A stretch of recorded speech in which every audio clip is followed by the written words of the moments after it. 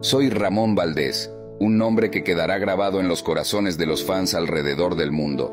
Conocido por interpretar al entrañable y icónico personaje Don Ramón en el querido programa de televisión mexicano El Chavo del Ocho, mi trayectoria estuvo llena de risas, dedicación y triunfos, pero también marcada por luchas personales.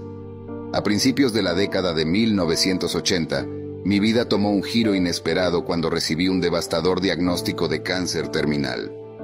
A pesar del sombrío pronóstico, me negué a permitir que apagara mi pasión por la actuación y la alegría que brindaba a millones de personas. Con una determinación inquebrantable, seguí deleitando a las audiencias con mi humor atemporal. En un acto notable de fortaleza, regresé al papel de Don Ramón en 1987, conquistando nuevamente los corazones de los fans.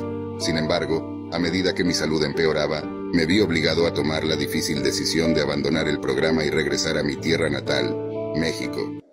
Fue allí, rodeado de seres queridos, donde hice mi última aparición.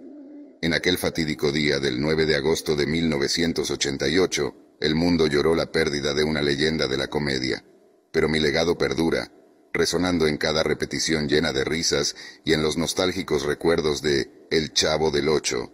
Estoy eternamente agradecido por el amor y el apoyo de mis fans, quienes continúan valorando la alegría que aporté a sus vidas.